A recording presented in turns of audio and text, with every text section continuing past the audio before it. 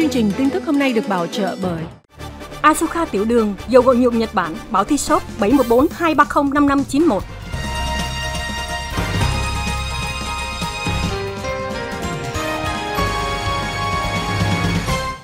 Thảo Yên Hoàng Trọng Thủy trở lại với tất cả quý khán giả từ Cà phê Sáng sang Thời sự Thế giới của ngày thứ năm hôm nay tiếp tục cập nhật các bản tin đáng chú ý từ ngày hôm qua và cũng như tin ngày hôm nay. Đầu tiên là dự báo thời tiết trong ngày với Thảo Yên.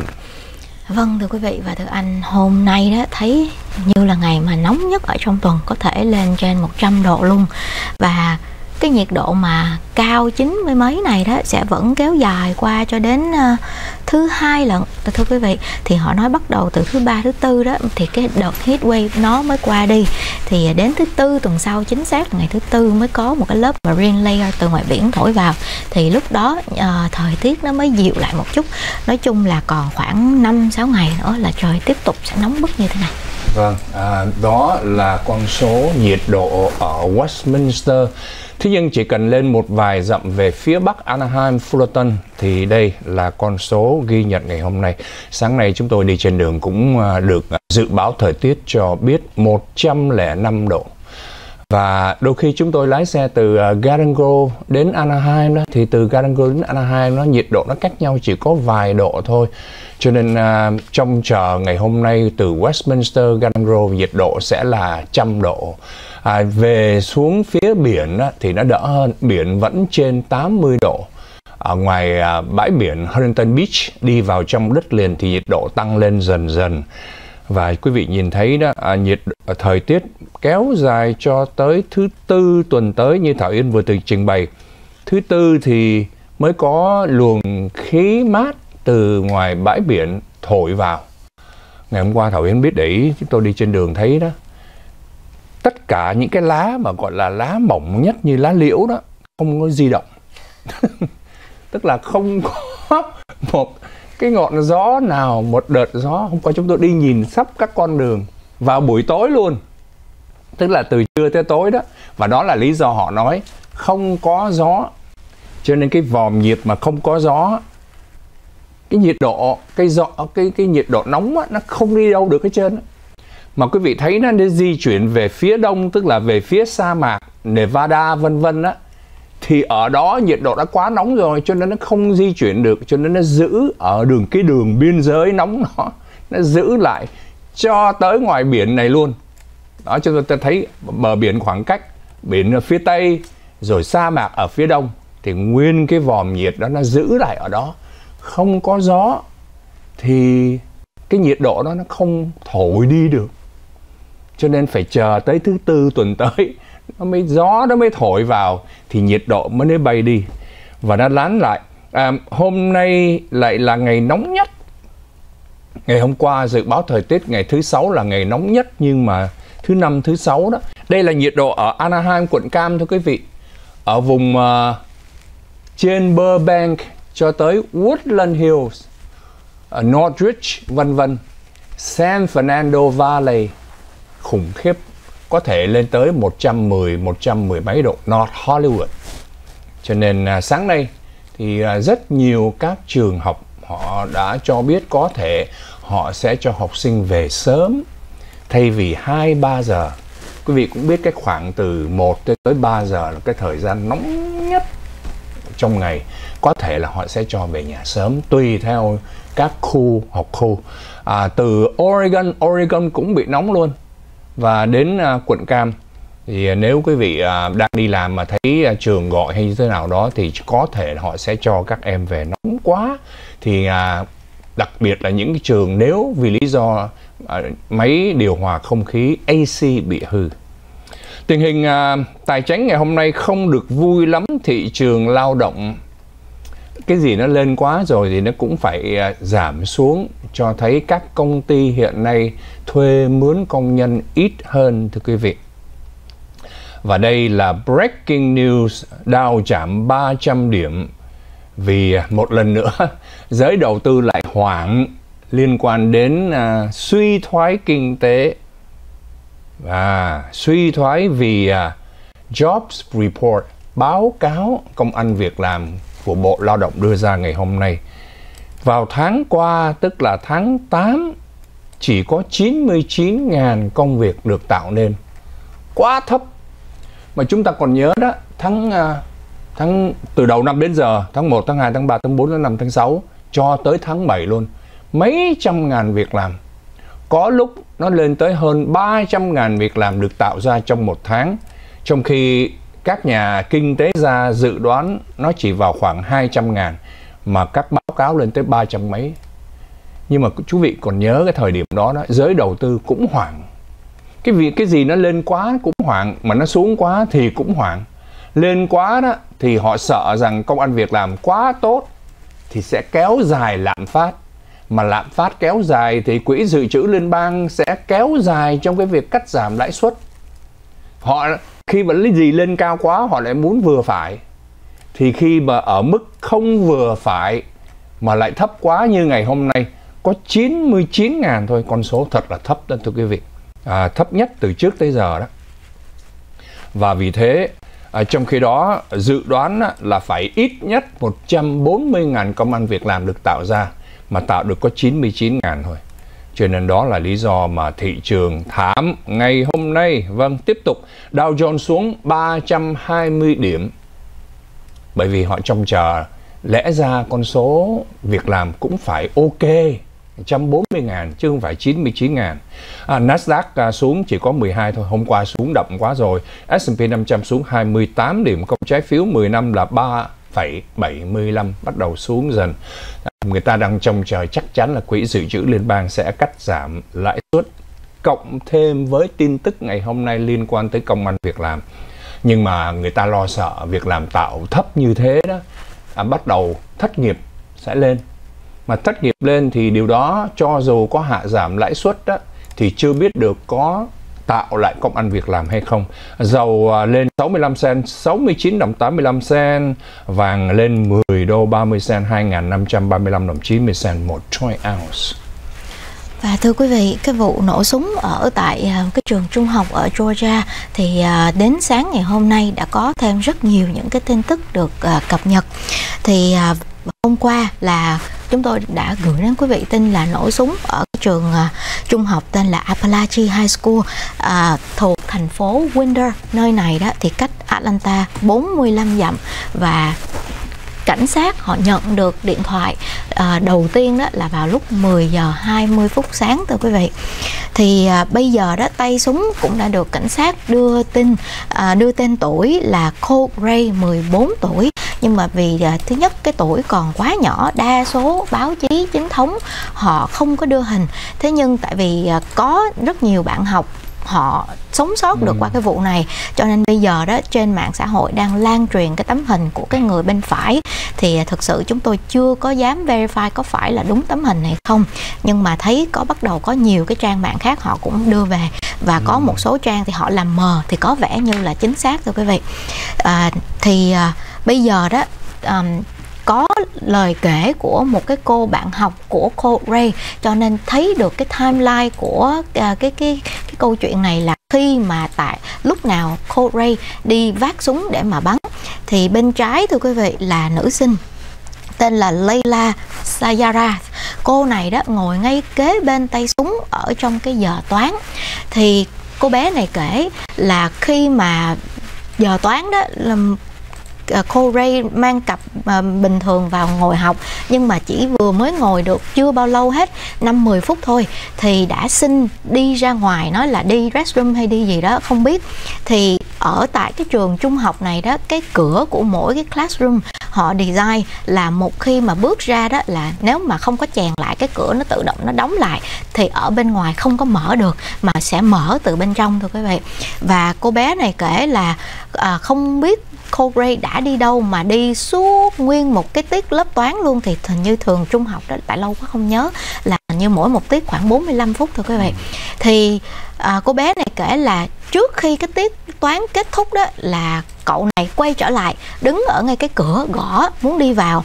Thì lúc đó um, cái người giáo viên đó thì bà lại đang bận rộn tại ở trên loa đó ở office có người nói bà là hãy check email cho nên người giáo viên không phải là người đi ra mở cửa.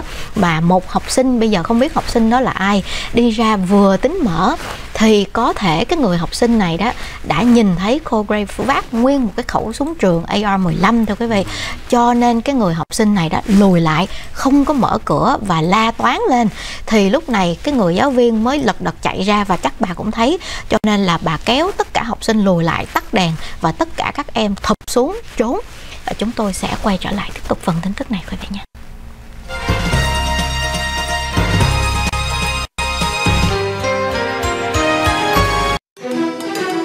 Chương trình tin tức hôm nay được bảo trợ bởi Asuka tiểu đường, dầu gội nhuộm Nhật Bản, bảo thi shop 714 230 5591.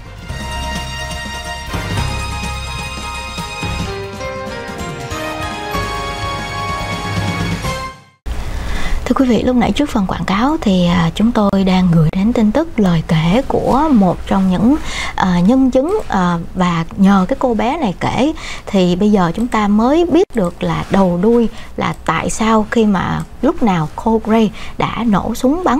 Thì như chúng tôi thưa đó thưa quý vị là nhanh nhờ cái sự nhanh trí của một cái người học sinh ở trong cái lớp đó mà cái lớp đầu tiên lớp toán của cô Gray đó các em này đã thoát được nhưng mà bởi vì không vào được cái lớp này cho nên cô Gray nhanh chóng đi vào trong cái lớp kế bên. Và à, những người ở trong cái lớp toán này họ nghe là chỉ tích tắc thôi khi mà y thấy y không vào được đó lớp học họ tắt đèn họ thụp xuống là y bước qua bên kia. Thì cô bé này kể chỉ trong vòng 5 đến 10 giây sau thôi là nghe một cái tràng súng nổ vang lên tin là lúc đó y bước vào cái lớp kế bên bởi vì không có đóng cửa cho nên là y đã tha hồ y nổ súng. Thì à, cuối cùng hậu quả là có bốn người chết thưa quý vị trong đó có hai học sinh và hai giáo viên và chín người khác nữa bị thương. À, cô Gray chỉ ngừng lại khi mà có hai người họ gọi là school officer đó, uh, cảnh sát nhưng mà chắc uh, ở, trực ở trong cái trường này nhanh chóng chạy vào. Thì y biết là nếu như mà y không ngừng là y sẽ bị hai người cảnh sát này nổ súng liền. Cho nên y thả súng xuống và giơ tay đầu hàng. Và thưa quý vị ngay sau khi mà bị bắt như vậy đó thì phía uh, cơ quan cảnh sát rồi các nhà điều tra FBI họ uh, mở cái cuộc điều tra. Thì cuối cùng FBI ở tại Georgia đó họ đưa ra một cái thông báo sáng ngày hôm nay xác nhận là vào năm ngoái tháng 5 FBI Georgia đã từng tìm đến nhà của cô Gray để mà điều tra. Tại vì năm ngoái có người báo là trên mạng quý vị cũng biết có rất nhiều những cái forum của những cái tay mà giống như tinh thần có vấn đề rồi à, bạo lực súng đạn rồi đó y hay cho bọn chúng hay có những cái forum riêng của mình. Và thường giống như vẽ ra những cái viễn cảnh uh, sẽ thực hiện những cái vụ nổ súng thì FBI họ nhận được tin là có những người có thể là lúc đó Corey đưa giống như là quá chi tiết là ở đâu thành phố nào vân vân. Thì có người báo cho FBI và họ điều tra thì thường những cái nên lên nói như vậy đó. Ờ, uh, FBI họ rất dễ tìm ra được cái IP address của cái địa chỉ nào. Thì tùy theo cái mức độ nặng nhẹ của những cái lời viết đó mà họ sẽ tìm đến. Thì lúc đó FBI họ xác nhận là lúc đó họ đến tìm là họ có thẩm vấn luôn vừa cô Gray và cả người cha của y nữa. Thì FBI nói là à, ông ba của cô Gray đó trong nhà có rất nhiều súng súng săn đồ. Nhưng mà ông khẳng định với cảnh sát khi đó là uh, ông khóa rất kỹ lưỡng uh, không có cách nào đứa con trai nó có thể lấy được mà uh, giống như không có ông ở nhà. Và cô Gray lúc đó thì cũng chối là uh, giống như y chỉ viết tầm bậy tầm bạ thôi. Thì phía FBI họ nói là lúc đó họ không còn một cái giống như bằng chứng nào nữa không có thêm cái nguyên nhân nào để mà không lẽ vì những cái lời mà viết chưa có căn cứ để mà đi bắt một đứa nhỏ lúc đó năm ngoái là mới có 13 tuổi thôi. Cho nên họ nói là họ đã bỏ cái tên của cô Gray vào danh sách cần theo dõi của FBI đã từng bị FBI tìm đến. Và họ cũng báo luôn cho nhà trường của cô Gray biết. Nhưng mà thật sự ra báo như vậy và không nhà trường bây giờ không lẽ làm gì bây giờ không lẽ đuổi học chỉ vì những cái lời đó. Nhưng mà không có ai ngờ được là à, năm ngoái ghi những cái lời đe dọa như vậy mà năm nay thật sự đã vác một cây súng AR-15 đi vào trường và nổ súng như vậy. Thì đến bây giờ cái nguyên nhân mà y nổ súng thì y vẫn chưa khai với lại à, cảnh sát. À, nhưng mà phía cảnh sát và à, các nhà điều tra đó họ nói là họ phỏng vấn hết tất cả những bạn bè ở trong trường. Thì họ giống có một cái bức tranh lờ mờ là cái à, các bạn đó nói là cô Gray vốn là một người vô cùng kiệm lời không có bạn bè gì ở trong trường hết. Thì quý vị cũng biết chúng ta coi phim đó nhớ cái phim Mỹ hay giống như là stereotype một cái loại người là cứ im im im im thì thường là những cái người rất là nguy hiểm. À, thì họ nói là cũng không phải đúng một trăm phần trăm nhưng mà cái xác suất nó rất là cao thì trong trường hợp này nó đúng như vậy. Các bạn nói là cậu này không có thích nói chuyện chút nào hết. Nói chuyện cũng chỉ là thường là những cái câu yes hay no mà thôi. À, và có vẻ như là cũng đã từng bị bạn bè chọc ghẹo bully bởi vì cái tính kiệm lời này cho nên có thể là bị bully một thời gian dài mà lại đi lên những cái forum những cái trang mạng online mà bạo lực quá độ cho nên khiến cho cái tinh thần có vấn đề. Vâng, thì à, FBI và nhà trường cũng xác định 4 nạn nhân, trong đó thêm 7 à, người khác hoặc là 9 người khác bị thương, à, tùy trường hợp. Nhưng mà 4 nạn nhân và bức ảnh hồi nãy Thảo Yên đưa ra trong đó cũng đã xác nhận đây là khu Gray, người da trắng. Đây là bức ảnh cũ, bây giờ là 14 tuổi rồi, thưa quý vị, học lớp 9. Vâng, thì đây là hai nạn nhân đều là giáo viên toán à, cô giáo tên là Christina Eremi 53 tuổi. À, học sinh mô tả cô là một người rất là kiên nhẫn lúc mà dạy học cho các em và chuẩn bị bài vở vân vân rất là chu đáo. Thì đó là những gì mà à, giáo viên trong trường à, cũng như các học sinh mô tả lại. À, còn ông thầy giáo thì à, mới 39 tuổi thôi, Richard Aspinwall. Richard Aspinwall 39 tuổi à, vừa dạy toán và cũng là người à, huấn luyện viên bóng bầu dục của trường và được à, các à, thành viên trong à, đội bóng bầu dục á, uh, football đó ca ngợi uh, vui vẻ thì cả hai đều là dạy toán thì người ta đang tìm hiểu động lực. Và bởi vì thằng bé nó im quá đi thì không biết được nó có khai động lực hay không. Nhưng mà chúng ta cũng hiểu một phần là từ những cái tác động trong lớp học. Đặc biệt hai đứa bé mà hắn giết luôn nó cũng 14 tuổi là con trai Christian Agulo yeah. À? một là Christian Agulo đứa thứ nhì là Mason Shepperhorn Mason và Christian. Một đứa Mason á, thì lại khác um, gia đình mô tả đứa bé này nó dễ thương nó giỏi lắm. Nó không có bắt nạt những đứa khác. Thì không biết được um, thằng này nó vào xong rồi nó đang giận dữ cái điều gì đó. Lẽ đương nhiên đã, đã lên kế hoạch từ trước và vì thế à, chiếu theo luật à, Georgia là một tiểu bang bảo thủ và có những cái luật rất là khắt khe nhắm vào những à, tội phạm. Và vì thế mặc dù 14 tuổi nhưng tên này sẽ được Cole Gray sẽ được đưa ra để xét xử như người lớn. Lẽ đương nhiên người ta muốn tìm hiểu động lực như thế nào. À, mặc dầu là FBI cho biết họ đã theo dõi từ năm ngoái nhưng mà thưa quý vị ở Mỹ này đã luật pháp á, à, chưa có hành động chưa có hành động rõ ràng cảnh sát không làm gì hết.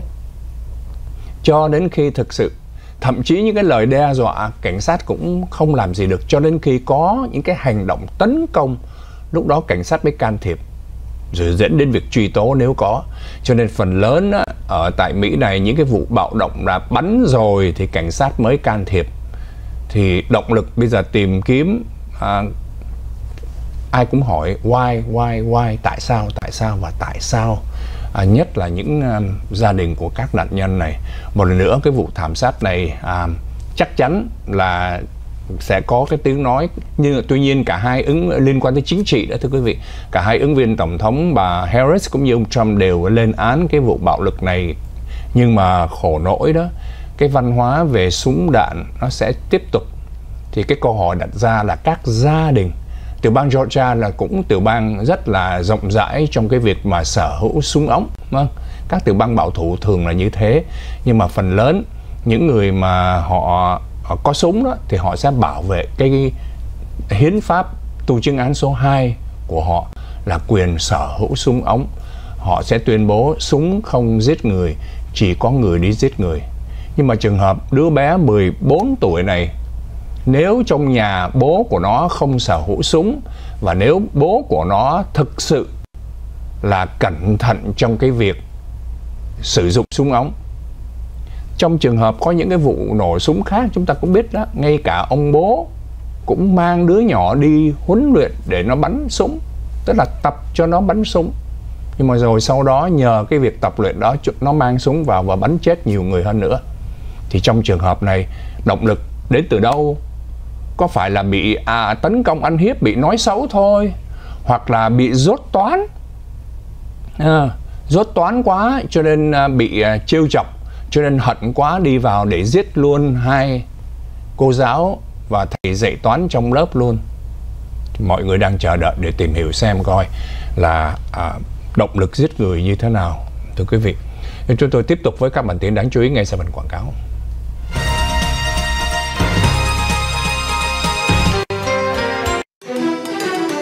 Trình tin tức hôm nay được bảo trợ bởi Asuka tiểu đường, dầu gội nhuộm Nhật Bản, bảo thi shop 714 230 5591.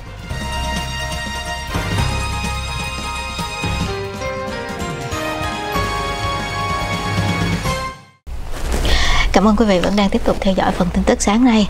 Và thưa quý vị à, mới đây thì à, có một ông à, cảnh sát từng làm việc cho sở cảnh sát Miami Beach. Nhưng mà bây giờ đó ổng đã chính thức bị à, sa thải. Nhưng mà không biết có bị truy tố hình sự hay không. À, bởi vì cái chuyện là không làm đúng bổn phận khi mà người dân báo án.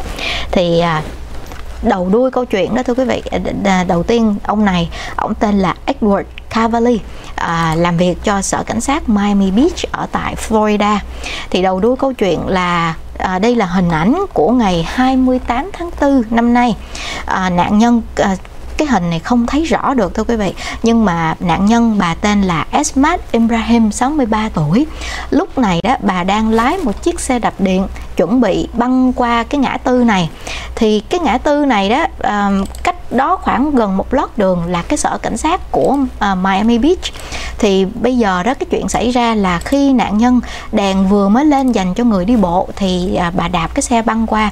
Thế nhưng một cái chiếc xe Ford Bronco màu xanh đó đi từ phía sau chạy từ xa tới nhưng mà chắc thắng không có kịp không có nhìn rõ hay sao đó tông thẳng vào nạn nhân hất bà văng uh, à, ra đường thưa quý vị.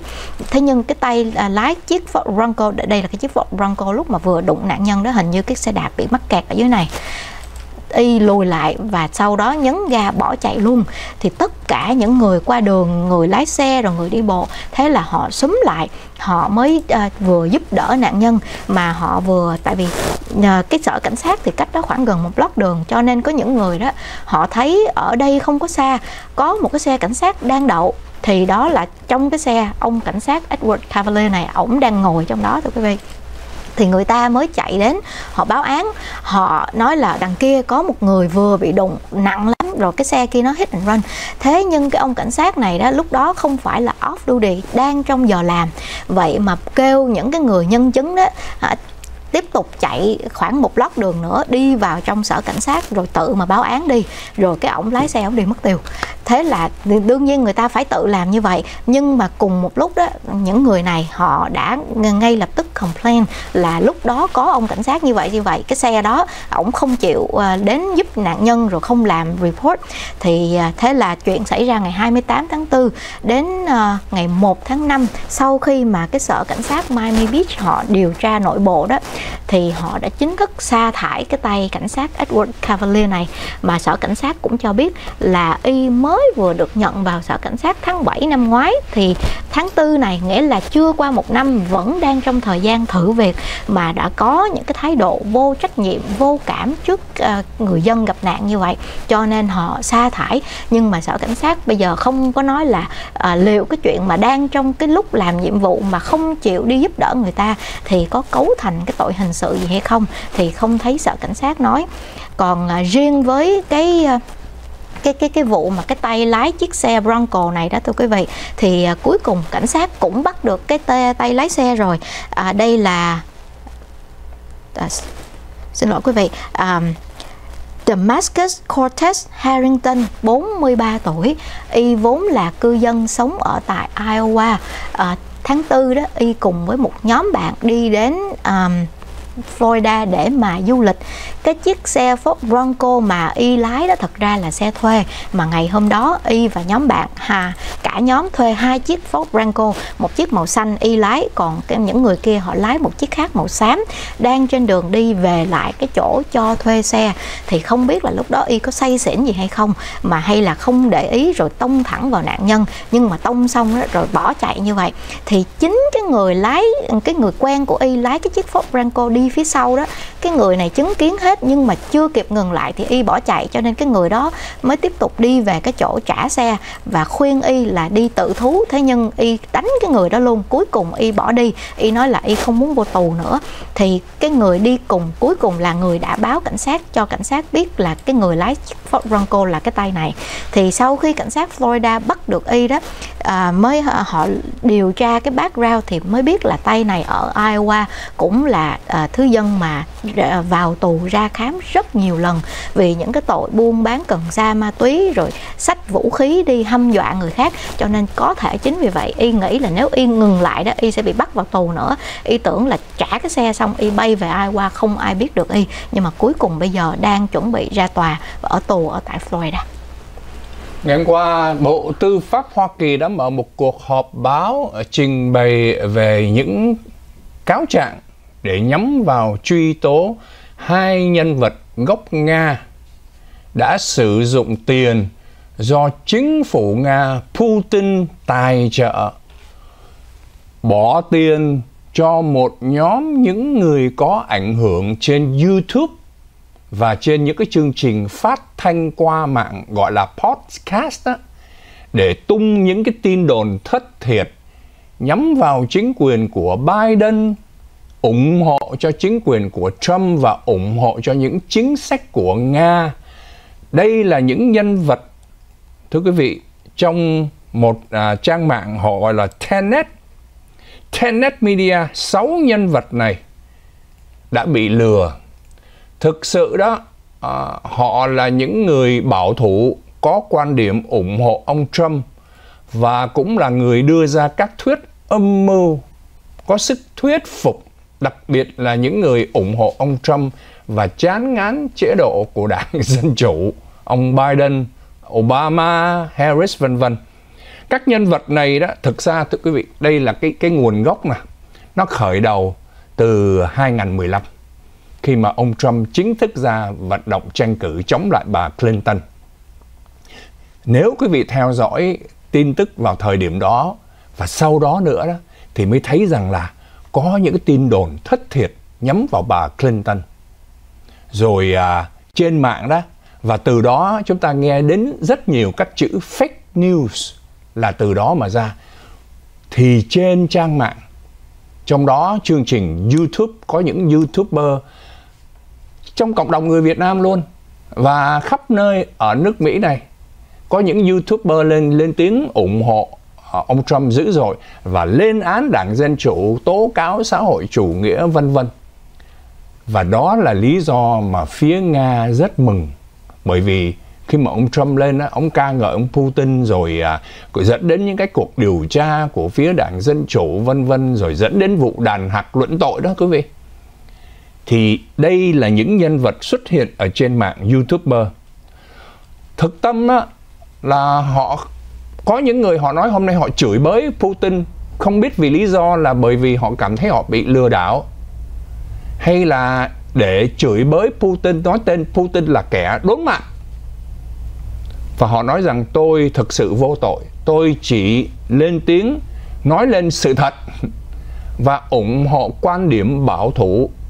Và khi mà nói đến ủng hộ quan điểm bảo thủ, có nghĩa là một cách gián tiếp ủng hộ ông Trump và đây là các nhân vật ủng hộ ông Trump và trên trang mạng Tenet Media này cũng là trang mạng ủng hộ các quan điểm bảo thủ sở hữu súng rồi chống phá thai và nhiều khác. Nhưng mà đồng thời cũng đưa ra rất nhiều các thuyết âm mưu để bác bỏ các nỗ lực của phía đảng Dân Chủ, các ứng viên chẳng hạn như là Tim Walz, Kamala Harris mà trước đó là Biden. Thì cái cuộc điều tra của Bộ Tư pháp muốn tìm hiểu xem có những cái động lực ở nước ngoài, đặc biệt là Nga như thế nào, đối với cái vai trò mà tự do dân chủ, nhất là truyền thông của Hoa Kỳ này, thì họ mới nêu ra hai nhân vật. Thì đây là một tên gọi là Konstantin Kalashnikov, không còn ở Mỹ nữa. Và nhân vật thứ nhì là một người nữ Elena Afayesya hai nhân vật này nằm trong cái hồ sơ cáo trạng truy tố của Bộ Tư pháp và một cơ quan truyền thông của Nga RT RT này mạnh lắm bởi vì có cái sự tài trợ là cơ quan của nhà nước Nga và chuyên môn đưa ra các thông điệp gây sức ủng hộ cho ông Putin. Russian Times, thưa quý vị, RT. Và nếu chúng ta đọc vào những cái ờ, quan điểm thì rõ ràng bởi vì ờ, cơ quan ngôn luận chính thức của nhà nước Nga mà tương tự như các uh, tờ báo uh, của hoặc là đài truyền hình CCTV của Trung Quốc hoặc là Nhân dân hoặc là tờ Công an của Đảng Cộng sản Việt Nam thì lẽ đương nhiên họ chỉ nêu bật cái con quan điểm chống Ukraine và ủng hộ Putin như thế nào. Trong cáo trạng của Bộ Tư pháp Hoa Kỳ họ cho biết chúng tôi sẽ quay trở lại ngay sau phần quảng cáo.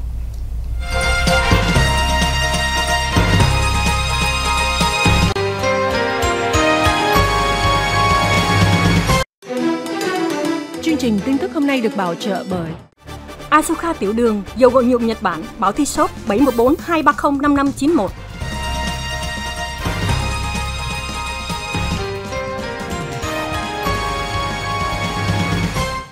Chúng tôi đang gửi đến quý vị chi tiết liên quan đến một cáo trạng của Bộ Tư pháp đưa ra nhắm vào hai nhân vật cũng như là cơ quan truyền thông chính thức của nhà nước Nga, Russian Times RT đã cung cấp. Họ nói rằng kể từ khi ông Trump ra vận động tái tranh cử đó, Russian Times và nhà nước Nga đã chi ra khoảng 10 triệu Mỹ Kim thông qua những công ty bình phong giả tạo là công ty Mỹ và trong đó, hai nhân vật Nga này là ở Mỹ, bây giờ biến mất rồi, đã đứng ra tạo ra các công ty bình phong để cung cấp tiền cho công ty truyền thông ở Mỹ này, Tenet Media.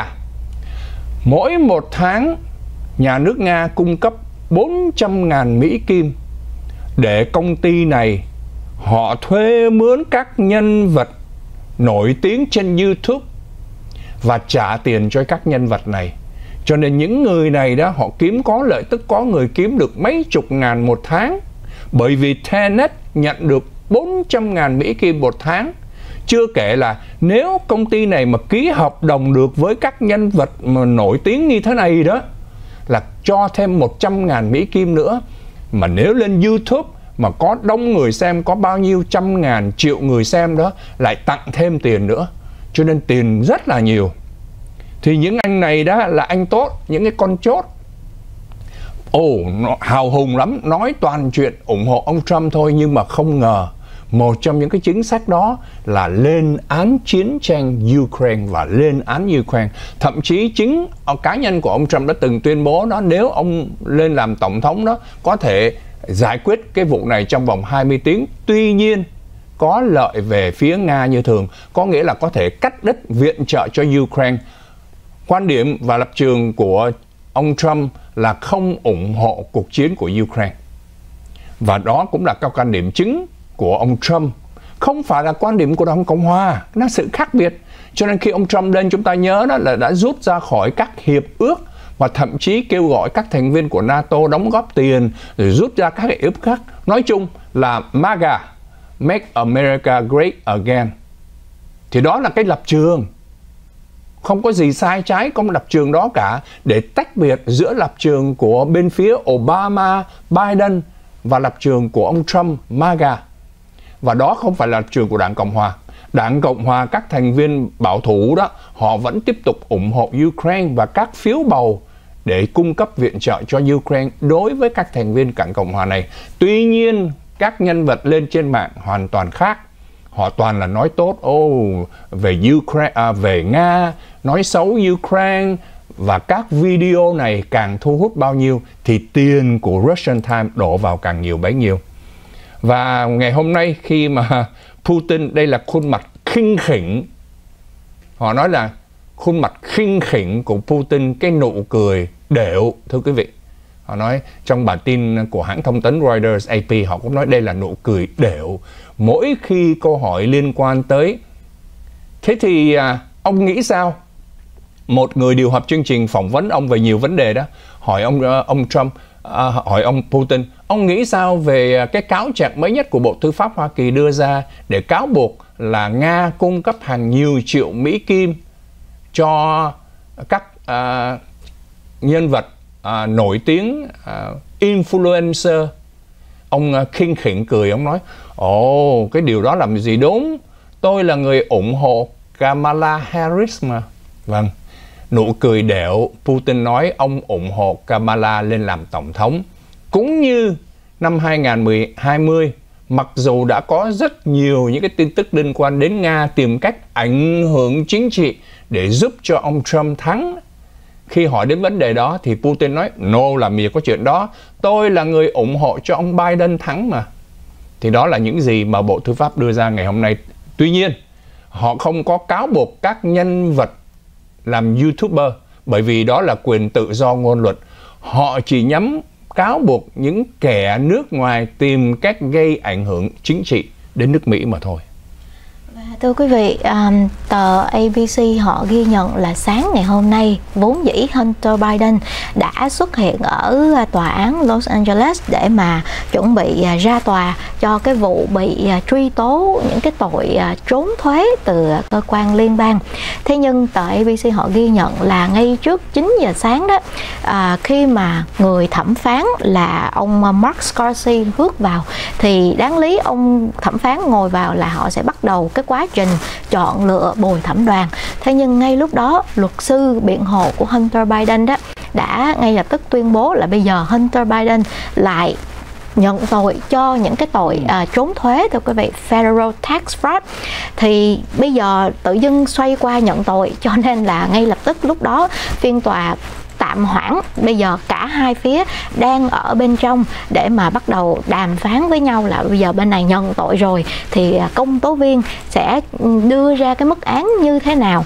Thì quý vị cũng nhớ là lý do tại sao mà bây giờ tự dưng Hunter Biden thay đổi đột ngột như vậy là mới vào tháng trước đó à, hai bên đã có mặt có ờ, đã đã có gặp tòa. Nhưng mà cái lúc đó không phải là cái ngày mà public hearing mà báo chí hay là người dân có thể biết được tin tức là hai bên bên đang à, đưa ra những cái lý luận với thẩm phán. Phía Hunter Biden đó yêu cầu là có một số những cái chi tiết không cần đưa ra trong cái phiên tòa bởi vì nó chính à, phía Hunter Biden thừa nhận là nó quá ghê tởm. Nếu mà đưa ra như vậy đó, bên họ nói là thứ nhất nó không liên quan gì đến những cái cáo trạng, nhưng mà nó sẽ làm ảnh hưởng đến cái phán xét khiến cho những người bồi thẩm viên có thành kiến với Hunter Biden nhưng mà bên ờ, công tố đó thì họ một một một họ khăng khăng là những cái chi tiết đó đó cần phải được đưa ra để mà chứng minh cho thấy. Tại vì phía ờ, Hunter Biden cứ nói là trong khoảng thời gian 4 năm mà công tố nói là 2016 đến 2019 Hunter Biden cố tình trốn cái số tiền thuế đáng lý là 1.4 triệu ờ, là công tố thì nói là ổng hoàn toàn tỉnh táo hết. Ổng dùng cái tiền đó tất cả những tiền thu nhập kể cả tiền à, nợ thuế đó ổng đi ăn chơi xa đọa hút chích cần sa rồi à, thuê gái điếm vân vân như thế nào. Thì phía công tố nói là có những cái hình ảnh lấy được rồi kể cả những nhân chứng cần phải đưa ra để cho thấy. Trong lúc đó đó tinh thần ổng vẫn tỉnh táo là ổng cố ý trốn thuế. Thì bên biện hộ thì lại nói là không tại vì lúc đó ổng bị buồn phiền quá à, trầm cảm rồi uh, những cái lúc đó ổng đang dùng rớt này nọ cho nên là tinh thần ổng không có tỉnh táo ổng không có uh, um, manage được cái sổ sách của mình cho nên mới chậm trễ việc trả thuế. Thì bên biện hộ của Hunter Biden cứ nói là những cái hình ảnh mà ông ăn chơi xa đọa đó nó không có liên quan đến vụ án nhưng mà công tố thì họ nói là có. Thì hình như có vẻ là trong cái phần cái cái uh, tháng trước cái cái cái cái cái ngày mà ra đưa ra hai cái cái quan điểm với tòa đó thì có lẽ tòa uh, không cho uh, phía biện hộ theo như ý của mình là block những cái hình ảnh đó hay sao đó. Cho nên là ngày hôm nay cái vụ ra tòa đó, thì phía Hunter Biden cuối cùng chấp nhận nhận cái tội trốn thuế để mà tránh bị những cái hình ảnh quá sức mà người ta không tưởng tượng được, bị đưa ra ngoài công chúng là như vậy. Thì à, à, cần phải nhắc thêm, thưa quý vị, đó là Hunter Biden đó bị cáo buộc là trong 4 năm từ 2016 đến 2019 ổng nhận về hàng triệu Mỹ Kim từ các chính phủ nước ngoài trong đó có Ukraine, Trung Quốc và Romania mà đổi lại phía công tố nói là ổng không có làm một cái việc gì hết. Thì bây giờ người ta thắc mắc là cái số tiền là ổng nhận để cho làm cái gì? Không có làm việc gì hết. Rồi à, bên cạnh đó thì à, mặc dù là sau khi mà bị điều tra đến năm ngoái cuối cùng ổng đã trả cái số tiền nợ thuế là 1.4 triệu cộng với tiền à, phạt. Nhưng mà thẩm phán đã à, trước cái buổi ra tòa ngày hôm nay đó ông này ông đưa cái lệnh block không cho phía Hunter Biden được nhắc đến cái chuyện là ổng đã trả tiền thuế rồi. Tại vì ông thẩm phán, ổng nói là bây giờ cái vụ ra tòa đó là trong cái khoảng thời gian Hunter Biden bị cáo buộc là cố tình trốn thuế. Còn cái chuyện đã nộp thuế là cái chuyện nộp trễ sau này. Cho nên nó không có relevant gì hết với cái chuyện mà ổng bị truy tố. Cho nên bên biện luận không được đưa ra, không được nhắc đến cái chuyện này để mà làm ảnh hưởng cái quan điểm của bồi thẩm viên. Thưa quý vị, không có ai giải gì mà phải xuất hiện trước bồi thẩm đoàn. Hôm nay là thứ năm Los Angeles ở, ở tại Los Angeles có phiên tòa tiểu bang, có toàn liên bang, phần lớn ở đập trụ sở Los Angeles là đây là trong uh, phiên tòa liên bang. Thì tòa liên bang ngày hôm nay nói rằng ô chúng tôi sẽ trong tiến trình chọn lựa bồi thẩm đoàn, luật sư của ông Biden sẽ xuất hiện cùng với công tố viên, hai bên ngồi xuống rồi bắt đầu một trong một cái pool, một nhóm bồi thẩm đoàn đưa ra thì hai bên đặt câu hỏi để cuối cùng chọn ra 12 người nhưng mà như thảo yên vừa trình bày quý vị tưởng tượng xem những cái hình ảnh à, thí dụ chúng tôi quay trở lại ngay sau phần quảng cáo quý vị chương trình tin tức hôm nay được bảo trợ bởi Asuka tiểu đường, dầu gội nhuộm Nhật Bản, bảo thi shop 714 230 5591.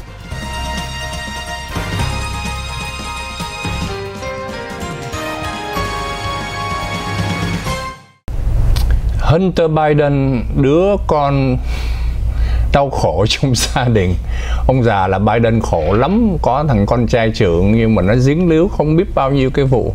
Nhưng mà nó xảy ra trong cái thời ông làm tổng thống 2016 tới 2020 vấn đề chính ở đây đó là công việc của Hunter Biden như thế nào. Mà cái số tiền riêng ngày hôm nay họ ghi nhận trong phiên tòa ở Los Angeles đó, là trên 7 triệu Mỹ Kim lợi tức. 7 triệu Mỹ Kim lợi tức thì thiếu khoảng 1,4 triệu Mỹ Kim. Thì đã không nộp thuế thì đó là vấn đề mà ngày hôm nay ra tiếp tục hầu tòa. Đây là tòa liên bang ở Los Angeles thưa quý vị và xử trong tiến trình lựa chọn bồi thẩm đoàn. Nhưng mà nếu mà bình thường một à, bác sĩ thiếu thuế một luật sư thiếu thuế hay là một người nổi tiếng thiếu thuế đó thì à, họ họ đóng, họ nộp phạt thôi. Tiền thuế trả lại một triệu tư cộng với tiền phạt, vân vân. Không có dẫn đến cái vụ mà tù tội. Thì trong trường hợp này đó, tòa liên bang ở Los Angeles, họ cáo buộc Biden, Hunter Biden 9 tội, gồm 3 tội danh trọng tội trốn thuế. À trốn thuế và khai thuế gian cộng với 6 tội danh nhẹ. Trước đây thì ông không nhận tội. Thì với 9 tội này đó, trong đó có các tội nặng đó, thì liệu rằng có dẫn đến tù hay không? Và chắc chắn cái điều đó Hunter Biden không muốn. Bây giờ đã đồng ý, đã nộp lại số thuế uh, thiếu một triệu tư cộng tiền uh, lời rồi tiền phạt vân vân nhiều thứ khác nữa thì hôm nay để tránh những cái hình ảnh mà không ai muốn nhìn thấy và chắc chắn phiên tòa xử đó, thưa quý vị, các hình ảnh này sẽ được giao cho cả thế giới nhìn thấy. Cho nên có phục một cách tốt nhất là chưa biết được trong à, việc mà nhận tội này chưa có chi tiết. Nhận tội gì trong tố các tội nặng? Nhận tội cũng phải thông qua cái việc với công tố viên và quan tòa công tố viên phải nói chuyện với luật sư. Thực sự trong rất nhiều những cái vụ, chẳng hạn như quý vị nhớ cái vụ mà George Santos đó, cả 13 tội luôn. Liên quan đến tội mà bòn rửa tiền, gây quỹ, rồi lấy, xài, tiêu pha, phung phí. Nhưng mà cuối cùng y nhận có đâu hai tội thôi, cả chục tội. Nhưng mà nhận có hai tội nhẹ. Nhưng mà hai tội đó không cũng đủ cho y vào tù, ít nhất là hai năm nhưng mà riêng với cái tụ trốn thuế này không phải là lừa đảo tiền bạc nhưng mà trong đó có vấn đề khai gian trốn thuế nữa cũng là tội hình đó. Thì không biết được là có phải à, vô tù hay là à, tìm cách thương lượng thì chắc chắn luật sư giỏi họ sẽ tìm cách thương lượng. Và phía công tố cũng không muốn kéo dài cái vụ kiện này xa hơn nữa. Thì họ đồng ý trong đó có thể không ở tù nhưng mà ngược lại đó phục vụ um, cộng cộng đồng à, làm những công việc cộng đồng rồi bị quản thúc rồi vân vân nhiều thứ khác nữa. Mọi người đang chờ đợi xem coi cái chi tiết của cái việc nhận tội này như thế nào.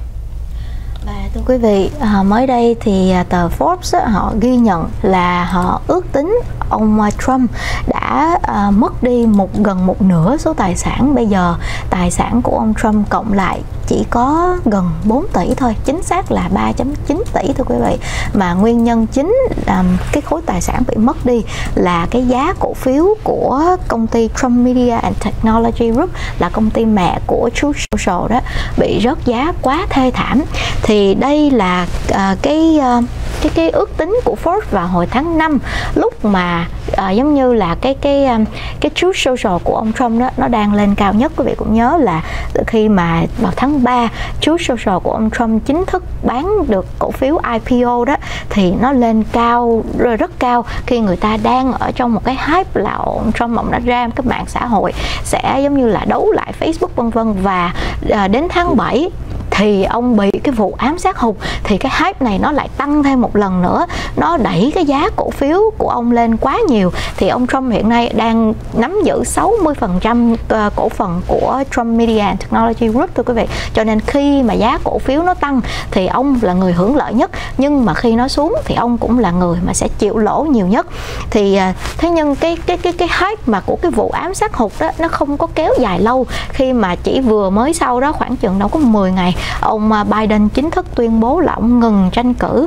Thì à, cái cái cái vị thế của phía đảng dân chủ bà Kamala lại lên cao.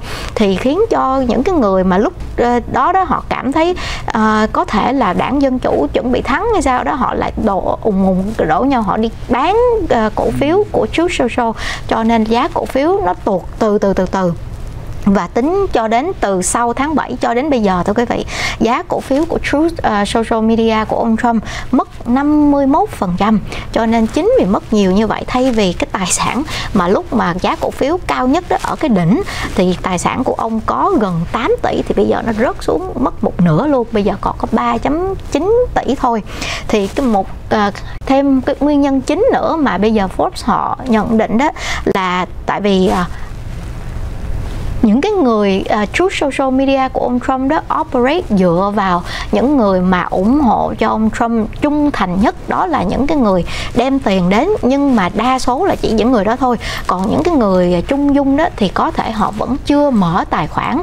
Mà bởi vì cái số người thật sự ra ủng hộ cho ông Trump mà core base á, thì vẫn không có đủ nhiều để mà cái mạng xã hội của ông có thể generate tiền từ à, các công ty quảng cáo.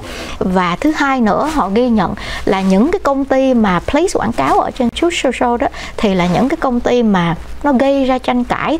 Có nhiều người không có thích chẳng hạn như cái công ty mà chuyên sản xuất cái loại thuốc mà vaccine cho ngựa Ivermectin thưa quý vị mà lúc thời đại dịch bị một số những cái kẻ điên khùng đó kêu là đây là cái loại thuốc có thể ngừa được covid. Cho nên là bây giờ cái loại thuốc ivermectin này bị giống như là người ta có ác cảm. Và thứ hai nữa là chẳng hạn như ở trên uh, Truth Social những cái công ty bỏ quảng cáo là những cái dating site uh, um, dịch vụ tìm kiếm uh, bạn trai bạn gái. Nhưng mà họ lại nói là ồ những cái trang web kia đó là của những cái người LGBTQ này nọ. Bây giờ họ ra những cái trang web dành cho những người bảo thủ là những cái nơi đàng hoàng. Thì giống như họ đi về một cái hướng quá extreme nhiều người không thích. Và à, những cái quảng cáo của công ty như là My Pillow của cái ông chủ mà ủng hộ Trump đó thì quý vị thấy là nó không có một cái sự đa dạng ở đó mà chỉ những cái công ty mà support ông Trump hoàn toàn và họ mang cái hơi hướng là quá bảo thủ bị nhiều người có thành kiến nhiều hơn là thích.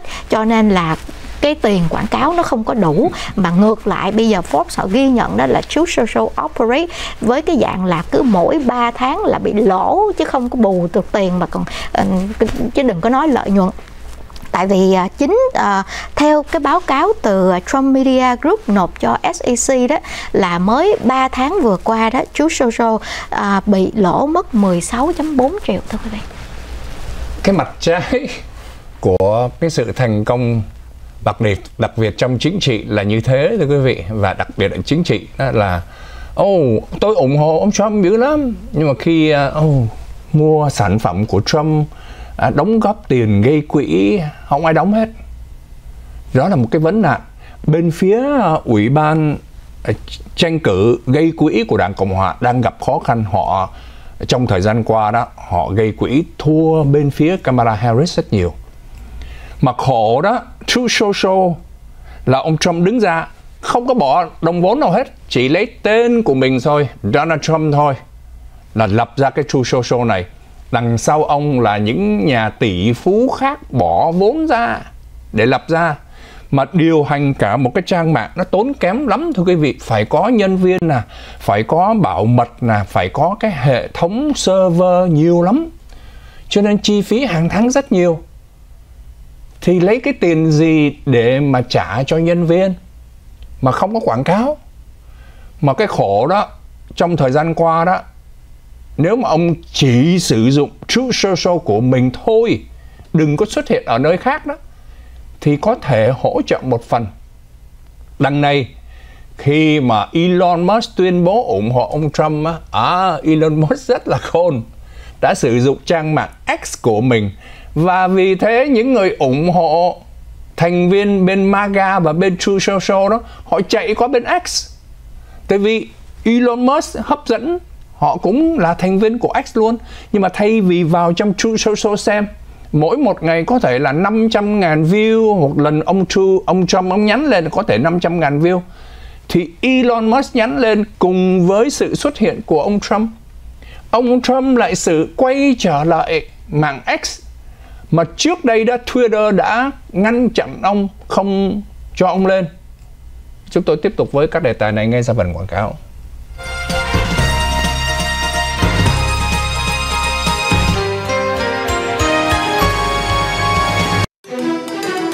Chương trình tin tức hôm nay được bảo trợ bởi Asuka tiểu đường, dầu gội nhuộm Nhật Bản, bảo thi shop 714 230 5591.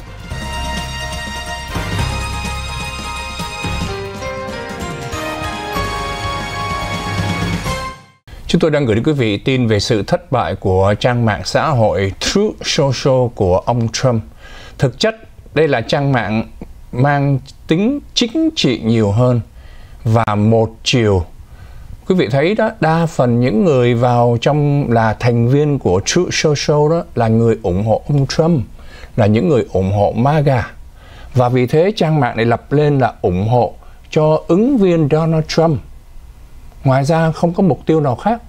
Vào trong này đó ông Trump và những người mà lập nên trang mạng đó cứ hy vọng là với cái sự nổi tiếng của ông á, thì sẽ thu hút quảng cáo. Cái đó đúng nhưng mà với điều kiện đó là trang mạng đó hai chiều. Tức là quảng cáo đó người ta nhảy vào chẳng hạn tại sao người ta nhảy vào YouTube hoặc là Facebook? Bởi vì mọi quan điểm và thành viên họ vào đây đó đâu chỉ là vấn đề chính trị đâu họ nhiều vấn đề khác nữa xã hội rồi trai gái rồi mua sắm vân vân. Thì tại sao Facebook, Instagram và những trang mạng khác YouTube đó, nó đề huề? Còn khi mà nói tới True Social chỉ có một chiều thôi. True Social là Donald Trump và MAGA. Và một chiều như thế bên phía đảng Dân Chủ Biden không có trang mạng đảng Dân Chủ không có bởi vì họ biết là và thực sự khi mà lập ra đó, chẳng có ma nào vào, thành viên nào vào cả. Và quan trọng là lập ra với điều kiện là phải có người ủng hộ. Bây giờ trang mạng Twitter X thê thảm luôn. Bởi vì kể từ khi Elon Musk, cho nên đây là một cái vấn đề khi mà bày tỏ quan điểm chính trị đó dễ chết lắm. Elon Musk bày tỏ ủng hộ ông Trump. Những người từng ủng hộ Elon Musk trước đây, họ ủng hộ cho dân chủ đó, bỏ đi hết. Và từ đó mất mà khi mất như vậy đó làm Twitter từ trước đó à, khi mà ông Trump vào và đụng độ đủ thứ đó đã thiếu đã thiếu rồi. Tức là trước khi mua lại đó đã thiếu quảng cáo cho nên đã bắt đầu thua lỗ. Và vì thế Elon Musk mới nhảy vào mua nghĩ rằng có thể vượt lại được. Nhưng mà khi mà bày tỏ quan điểm chính trị thì càng chết nữa. Bởi vì những người ủng hộ không ủng hộ trong Trump họ đâu có thèm xem. Và vì thế quảng cáo không vào luôn thì một mặt đó X mệt mỏi. Bây giờ True Social cũng thế. Bây giờ thân chủ quảng cáo họ có thể gây quỹ ủng hộ cho ông Trump đúng. Nhưng mà họ không có dùng trang mạng True Social để quảng bá bán hàng. Không có ai vào đây để bán xe không ai vào đây để bán uh, điện thoại hoặc là quảng cáo các dịch vụ khác. Mặc dầu là họ là người ủng hộ MAGA ủng hộ ông Trump họ vào các trang mạng. Bởi vì vấn đề thưa quý vị kinh doanh mà. Kinh doanh mà nhắm vào chính trị là chết. Kinh doanh là đừng có đụng tới chính trị. Đụng tới chính trị rất mệt mỏi. My Pillow là như thế ông đang bạc triệu giàu có vân vân nhảy vào chính trị tan xác luôn. Thì đó là lý do giải thích tại sao cái vấn đề mà uh, True Social bị thất bại. Cái khổ đó ông Trump trên giấy tờ là bạc tỷ nhưng mà ông không bán được. Bởi vì trang mạng của mình ông bán người ta nói ông bán một cái hả? Cho dù bán ít bán nhiều đi là nó sập luôn, là bởi vì người ta thấy ồ nguy hiểm rồi. Đã không có lời mà cái người chủ nhân nó còn bán tháo cổ phiếu nữa. Khi mà công ty đang phát triển mạnh đó, là chủ nhân, giám đốc họ mua thêm cổ phiếu của họ vào. Đó là một trong những bằng chứng công ty trong tương lai đang có lời và sẽ có lời. Đằng này, chính chủ nhân, cho nên ông Trump không có bán được cái số tiền bạc tỷ đó chỉ trên giấy tờ thôi. Chưa kể hiện nay True Social cũng đang đương đầu với các vụ kiện riêng lẻ nữa thưa quý vị. Um, cũng tin liên quan ngày hôm nay ở tại tòa Washington đó, với uh, bà quan tòa Chukan đó, chúng ta nghe thấy là ông đây là ông Jack Smith nè. Hiện nay vẫn đeo đổi cái vụ kiện ông Trump vi phạm vào hiến pháp của nước Mỹ à, ờ, ờ, vi phạm vào cái việc chuyển tiếp à, tiến trình bầu cử một cách êm thấm rồi à, dẫn đến cái vụ mà tấn công tòa nhà quốc hội ngày 6 tháng 1 thì hai bên đang tranh luận dữ dội lắm. Bởi vì ông Jack Smith theo sau phán quyết của tòa tối cao pháp viện nói rằng ông Trump được miễn tố.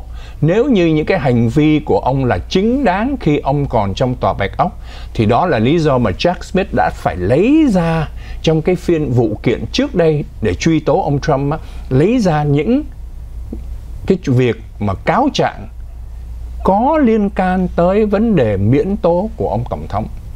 Và bây giờ ông họp hồ sơ trở lại, vẫn tiếp tục theo đuổi cái vụ kiện như như thường nhưng mà luật sư của ông Trump ngày hôm nay tranh cãi, họ nói rằng, ô, cái vụ này tại sao cứ tiếp tục mang lại ông miễn tố mà? Ông không hề can dự vào cái vụ tấn công tòa nhà quốc hội. Với tư cách lúc đó, ông vẫn còn là tổng thống. Và thậm chí ông Trump từng tuyên bố ông có quyền để can thiệp vào bầu cử luôn nữa. Thì hai bên tranh cãi hiện nay chưa biết được là à, liệu rằng cái phiên tòa này có được tiếp tục hay không. Nhưng mà à, các chuyên gia nói rằng nếu có được tiếp tục nữa thì à, cái phiên tòa nó sẽ diễn ra ngay sau bầu cử. Nếu ông Trump đắc cử tổng thống xem như dẹp bỏ luôn thưa quý vị. Và thưa quý vị à, một cái nhà tù ở tại à, Pennsylvania vừa mới à, phát hiện là trong cái à, nhà tù ở này đó là vốn dĩ là giam giữ những người phụ nữ thành niên phạm tội, nhưng mà không hiểu làm sao mà họ lại bị sót lẫn lộn một bé gái mới có 13 tuổi mà bị nhốt. Bây giờ họ cũng không biết là từ bao lâu rồi thì phải giống như kiểm tra lại giấy tờ thì mới biết thì à, cái đầu đuôi câu chuyện đó thưa quý vị là phía à, cảnh sát ở thành phố gọi là Beaver Falls vào ngày à, 17 tháng 8 uh, Beaver Falls thuộc uh, tiểu bang Pennsylvania. Họ bắt được một cô gái cái tội đi vào một cái cửa tiệm ăn cắp đồ. Nhưng mà có thể là tại ở cái tiểu bang này đó cái tội ăn cắp uh, nó nặng hay sao đó với với lại đem về sở cảnh sát làm hồ sơ giấy tờ. Thì cô này đó cổ không có đủ đóng tiền beo mà cổ lại khai là cổ là người vô gia cư cho nên là à, thì không đóng được tiền beo thì không có được tại ngoại hầu tra cho nên là cảnh sát mới tống vào trong nhà tù. Nhưng mà tại vì lúc mà khai đó thứ nhất khai là à, người vô gia cư không có giấy tờ đưa tên giả ngày sinh giả đưa cái ngày sinh thành ra là 18 tuổi là người thành niên. Cho nên cảnh sát họ mới gửi qua cái nhà tù ở tại à, à, Beaver County thưa quý vị gửi qua nhà tù của quận thì không biết bây giờ không biết được là giam giữ bao lâu có thể là một tuần hai tuần gì đó. Thì đến một ngày tự dưng cái có một cái người à, người phụ nữ bà này bả uh, à, cai tù. Bà coi tivi thì mới nhận ra là một trong những cái người nữ tù nhân đang ở trong cái nhà tù đó giống y như trong cái thông báo của phía sở cảnh sát.